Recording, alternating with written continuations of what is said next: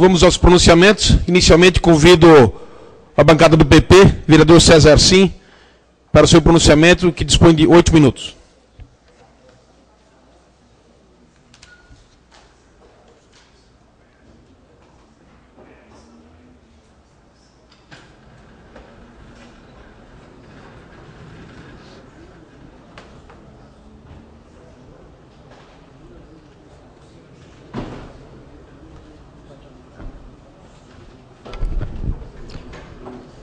Vereador Roberto Tribes, fazendo as vezes de presidente desta sessão, e mais vereadores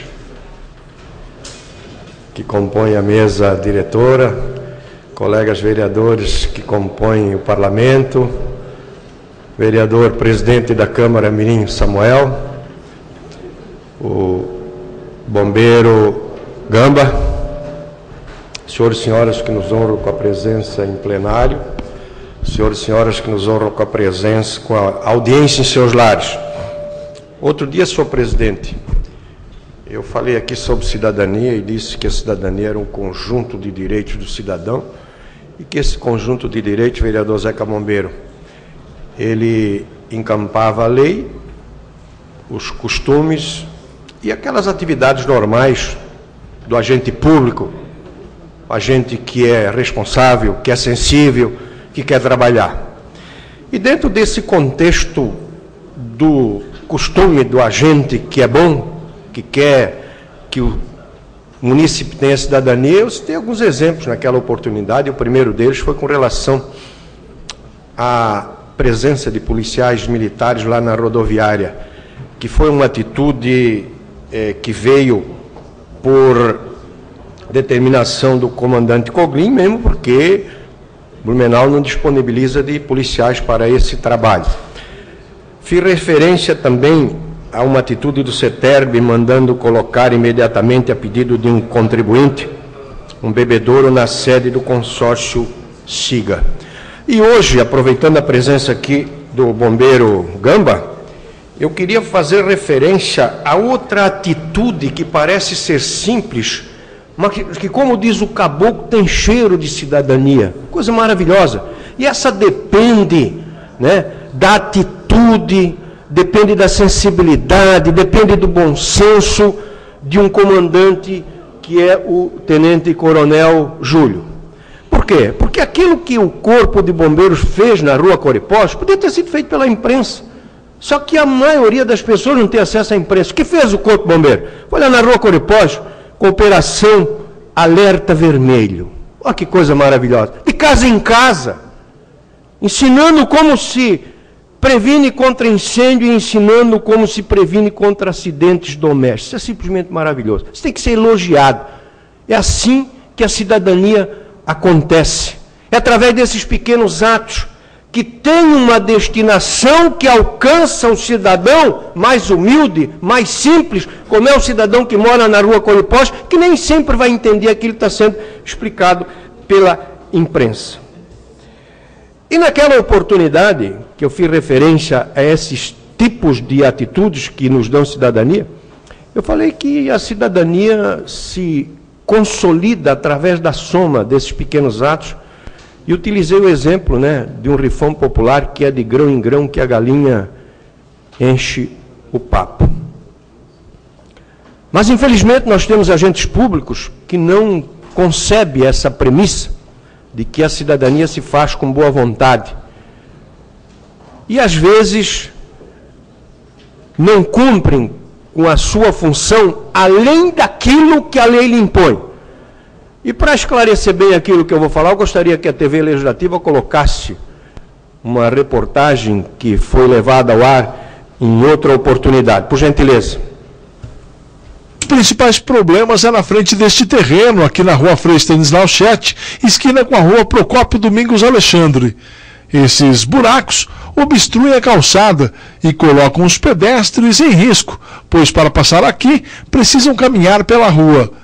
O vereador César esteve no local e vai cobrar providência dos responsáveis. Essa vazão de água, ela elimina a calçada. Então nós estamos numa rua com fluxo de automóvel considerado e crianças aqui transitando, as pessoas também e anula completamente a calçada. Nós estamos então solicitando a presença de um fiscal da prefeitura, juntamente com o engenheiro, para ver de quem é a responsabilidade e depois então cobrar uma ação para que a comunidade possa ter é, a sua calçada e por ela possa transitar normalmente.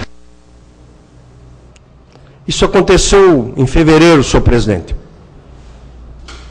Em março, no começo de março, o nosso presidente mandou um ofício e esse ofício acabou chegando no SAMAI. E o que fez o SAMAI? Imediatamente o SAMAI mandou alguém lá verificar o problema. E lá o SAMAI constatou que não era responsabilidade do SAMAI, que era um vazamento de um terreno lindeiro à rua. Aí o SAMAI exatamente respondeu nesses termos. Mas não era esse o ofício que eu queria receber do SAMAI. Absolutamente. Eu queria que o SAMAI desse continuidade. Olha, não é responsabilidade do SAMAI, chama quem é responsável. Chama o fiscal para ver de quem é a responsabilidade. Agora nós temos que começar tudo do zero. Cadê a solidariedade? Cadê a, aquele princípio da cidadania? Mas não é tudo farinha do mesmo saco? Ou em outras palavras, a mandioca que dá a farinha não é do mesmo dono que é o povo que paga os tributos? Que paga o SAMAI?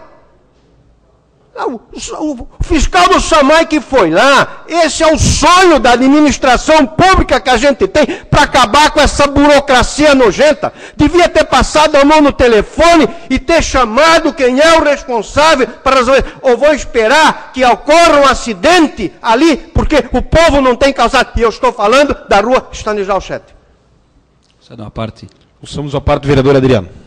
Vereador César, primeiramente queria parabenizar né, o assunto que você traz hoje e demonstrando um lado interessante. Realmente fiquei surpreso.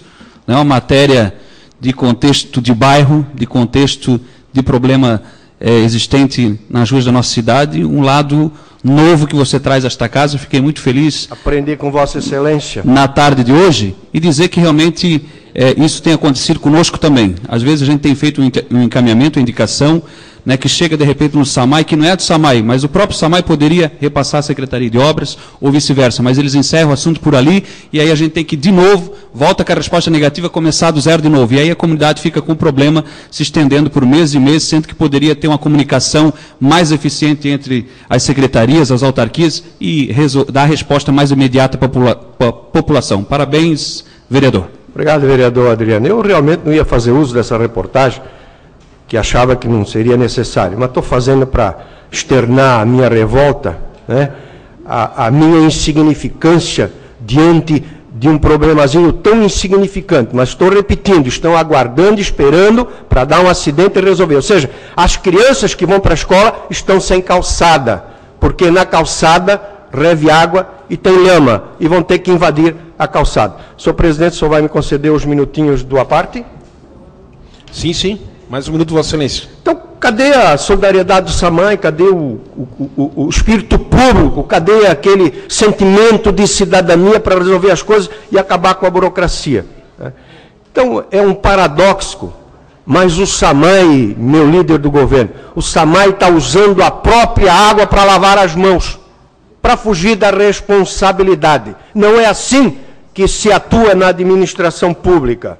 Eu espero que esse problema seja resolvido o mais rápido possível e solicito ao fiscal do SAMAI né, que vá chamar o responsável, porque eu não vou fazer outro requerimento.